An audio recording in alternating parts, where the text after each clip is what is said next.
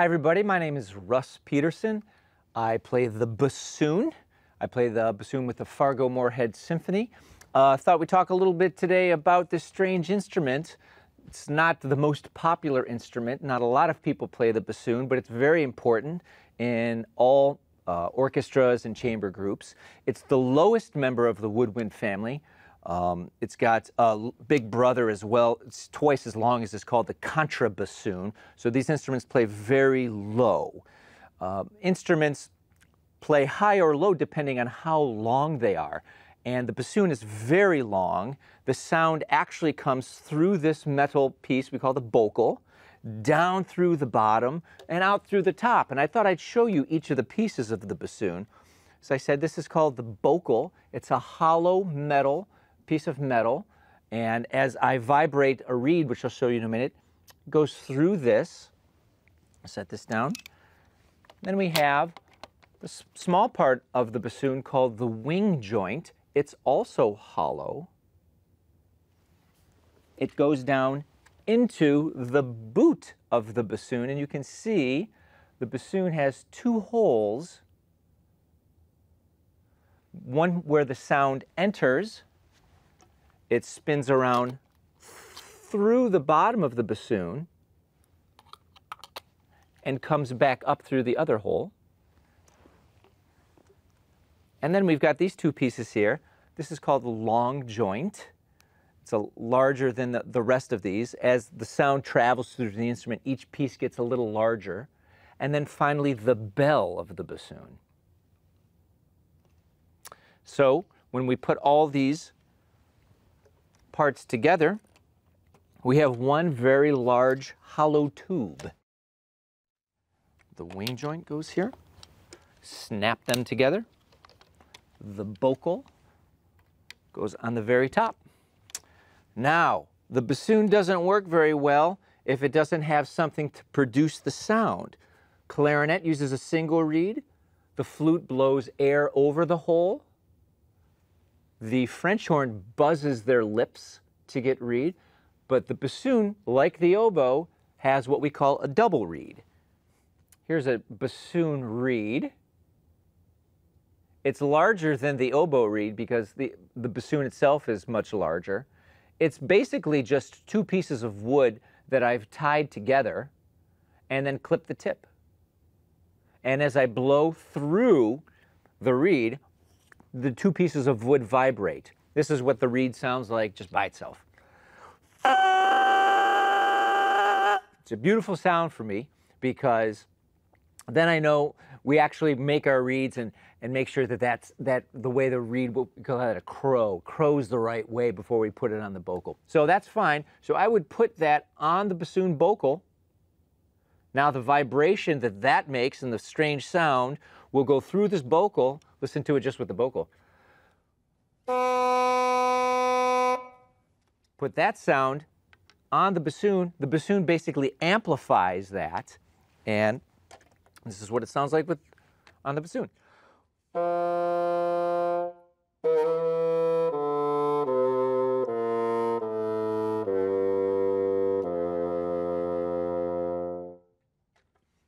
So the bassoon reed is the only thing that makes sound on this instrument. And as I put each finger down, the, the length of the instrument actually increases. So when I play, when I put my first finger down, this is the length of the tube. When I put my second finger down, it increases a little bit. Every time I put a finger down, the tube gets longer until, of course, I put the very last key down here, the low B flat, and that's the lowest. The, the sound is going through the entire instrument. so here's the lowest note on the bassoon.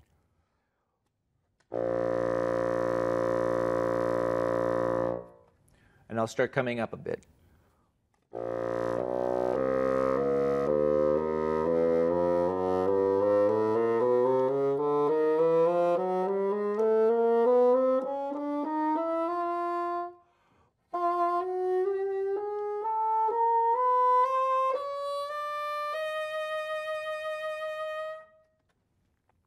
So the bassoon is a very versatile instrument. It can play very low and it can match with tubas and low instruments. And then it can also play very high. It doesn't even sound like the same instrument. It's, it's kind of fun. The different registers are so different. None of this, of course, would be possible without making sure that your reed works properly. And that's why I brought all these reed tools to show uh, what we need to do to make this reed. I'm going to put this back in the water to keep it soaking. We actually start with tube cane. This looks like a little piece of bamboo, doesn't it? This was grown in southern France, where most reed cane is grown. It's, there, there's, poss- there's some grown in China and Argentina and other places, but most cane is, is grown in southern France because of the climate and the amount of rain that that area gets. It makes great reed cane.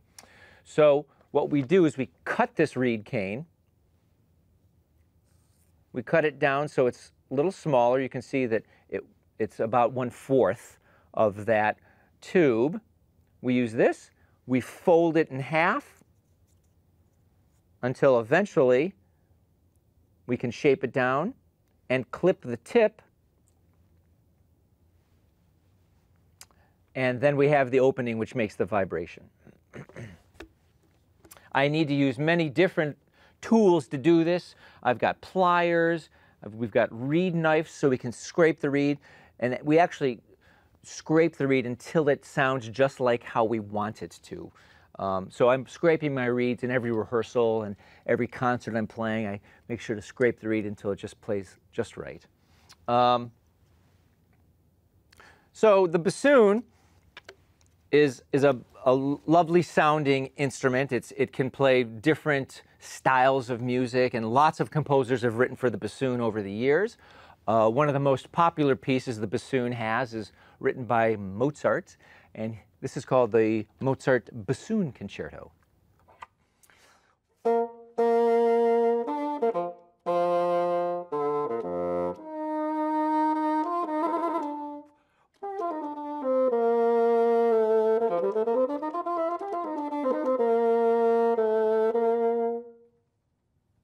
Just a little bit of the opening of the Mozart Bassoon Concerto. It's really a, a, beautiful piece. Other composers have written for the instrument to use its very low register. You might recognize this little bit from Peter and the Wolf by Sergei Prokofiev. This little bit represents the grandfather, and it's the very low end of the instrument, and it's kind of a grumpy grandfather walking with a cane.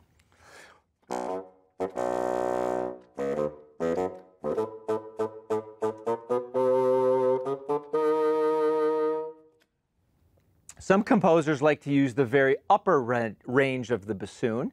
This little excerpt I'll play is from a Stravinsky piece called The Rite of Spring, and it starts with the bassoon on the very highest notes.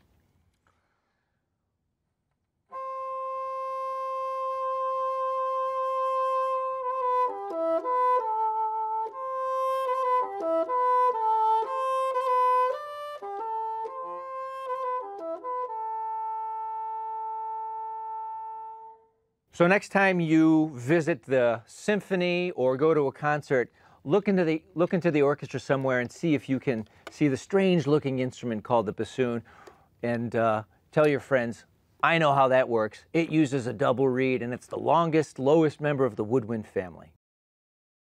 This program is funded by the North Dakota Council on the Arts the Minnesota Arts and Cultural Heritage Fund with money from the vote of the people of Minnesota on November 4th, 2008, and by the members of Prairie Public.